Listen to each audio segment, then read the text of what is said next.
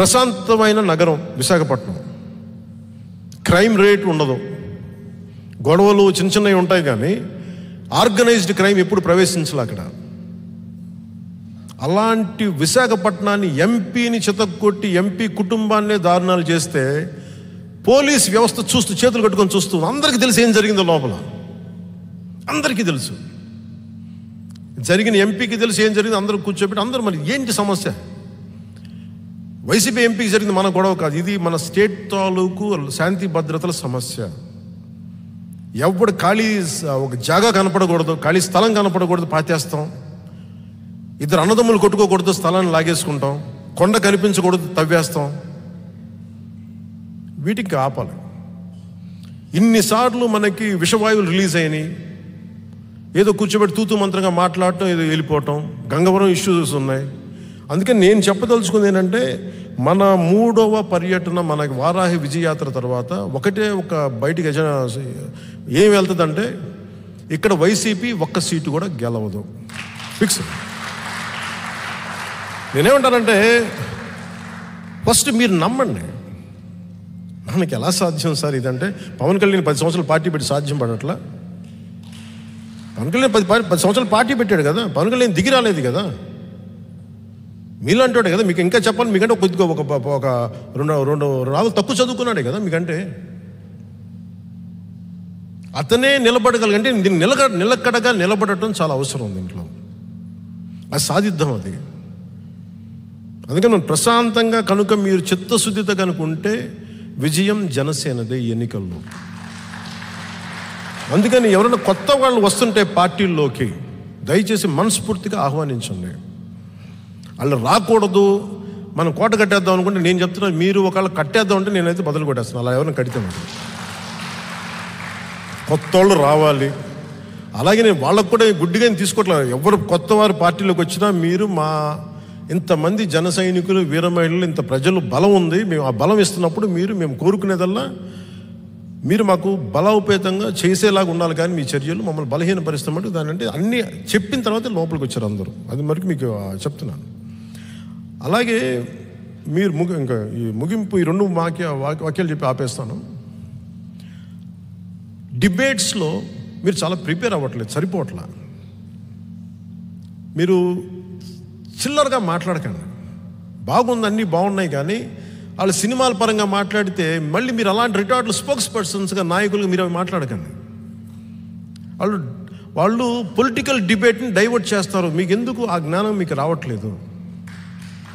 Political NCRB డేటాలో ముప్పై వేల మంది మహిళల గురించి మీరు మాట్లాడాలి కానీ మరి పోలవరం ప్రాజెక్టు గురించి మీరు మాట్లాడాలి కానీ లేదంటే కూర్చోబెట్టి ఇంతమంది చిన్నపిల్లలు ట్రాఫికింగ్ జరుగుతుంది దాని గురించి మాట్లాడాలి కానీ ఆంధ్రప్రదేశ్ అప్పుల్లో కూరుకుపోతున్న మాట్లాడాలి కానీ కూర్చోబెట్టి నన్నేదో అన్నారని చెప్పి నన్ను అంటే అంటారు. నన్ను అనకుండా ఎందుకుంటారు మీరు? ఎందుకు అనుకుంటారు మీరు అట్లా? అనుకోకూడదు ఎందుకు అనుకుంటారు మీరు? నేను వాళ్ళ ఇష్టం వచ్చినట్టు తిడతాను వాళ్ళు చేసి ఎదవ పనులకి అది వేరే విషయం. కనీసం వాళ్ళని తిట్టకుండా కూడా ఉండుకోవడం తప్ప అలా మిలింది ఎందుకు అనుకుంటారా? నేను తిట్టనివ్వండి నన్ను? పర్లేదు. నాకు ఒళ్ళి చిల్లు ఏం పడిపోదు. మీరు ఎదురు తిరగాల్సింది వాళ్ళకి మీరు కావాలంటే ఒక మాట అనండి. దాన్నే ప్రైమరీ ప్రైమ్ డిబేట్గా చేసేయకండి దాన్ని. ఇంక ఏమీ లేనట్టుగా కూర్చోబెట్టి పవన్ కళ్యాణ్ సినిమా అంటే నా సినిమా నేనే చేసి వదిలేశాను. ఎప్పుడు మీరెందుకు పట్టుకొచ్చుకుంటారు?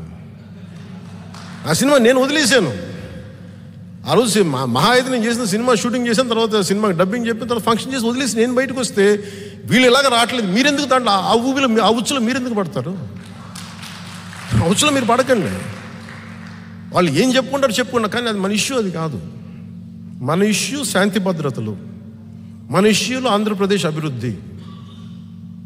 మనుషులు ఇక్కడ తాలూకు మనకి కోస్టల్ కారిడార్. మన గంజాయి లేని ఆంధ్రప్రదేశ్. మన ఇష్యూస్ ఎవడైతే మద్య నిషేధం అని చెప్పి వచ్చినోడు అడ్డగోలుగా మద్య మీద సంపాదన వాడిని వాళ్ళని ఎదుర్కోవటం. ఇవన్నీ మీరు ఆలోచించండి. అందుకని మీరు ప్రత్యేకించి నేను అందుకని చెప్పాను ఇవి వరుసగానే వింటా నాకు అనిపించింది. వాళ్ళు కూడా ఇట్లా అయిపోయారంటే రెగ్యులర్ పొలిటికల్ స్టాండర్డ్ పొలిటికల్ పార్టీలో అయిపోయారు. నేను అలా అనేది నేను జనసేన పెట్టలేదు. You have to up the up your debate quality మీరు డిబేట్ తాలూకు స్థాయిని పెంచాలి. అంతేకాని మీరు మీరు ఎవరితో ఆడితే నేను బోరిస్ బేకర్ నాతో ఆడితే బోరిస్ బేకర్ చండాలంగా అనిపిస్తుంది. Boris Becker who is prominent tennis player no నా బోరిస్ బేకర్ నా చిన్నప్పుడు. Federer Federer. ఇప్పుడు ఫెడరర్కి కాంపిటేటివ్ ఆ స్థాయి వ్యక్తి ఉండాలి కానీ నాతో ఆడాడు అనుకోండి ఫెడరర్ ఫెడరర్ గెలవడం కాదు. నేను నా ఫెడరర్ నా స్థాయికి ఫెడరర్ లాక్కొస్తుంది. సో అలాగే మనం మీరు ఎవరితో డిబేట్ చేస్తున్నారో మీరు డిబేట్ స్థాయిని పెంచండి. అలా కాకుండా మీరు వాళ్ళ స్థాయికి మీరు దిగజారద్దు. వాళ్ళు ఏదన్నా చెప్పినా ఎన్ని కథలు కాదులే కానీ ఇట్లా దగ్గరికి వచ్చి ఈ పాయింట్ ఏంటి చెప్పాను. వాడు అదే మాట అలా కదా మళ్ళీ రా.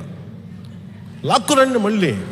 ఎక్కువ మాట్లాడితే చె- మీరు మీ డిబేట్ ఎలా ఉండాలంటే చెప్పి ఇలా తిప్పి ఈ పాయింట్ మాట్లాడు అట్లా ఉండాలి డిబేట్ మీద. వాళ్ళు చెప్పిన దానికి మీరు అస్సలు మీరు పెట్టడం ఇది మటు గుర్తుపెట్టుకోండి.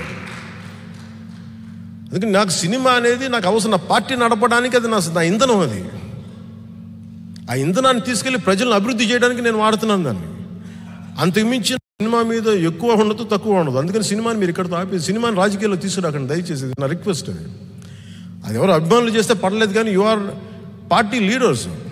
You are party spokespersons మీరు. మీరు కూడా ఆ- డిబేట్లోకి వెళ్ళిపోతే ఎట్లా? ఇంకా మీరు ఎదగాలి కదా మీరు దాన్ని. దయచేసి ఇది- ఇది ఒక ఫ్రెండ్ మేము ఒక ఫైనల్ రిక్వెస్ట్ నాకు. టైం టు టైం మన హరిప్రసాద్ గారు మిమ్మల్ని రిక్వెస్ట్ చేస్తారు. సో బారాహి మూడవ ఆ, యాత్రకి మీరు సంసిద్ధులై విజయం మీ ఆ శుభాశిస్సులు దీన్ని విజయం పదం వైపు నడిపిస్తారని మనస్ఫూర్తిగా ఆశిస్తూ సెలవు తీసుకుని జై జయన్సిన జై హింద్.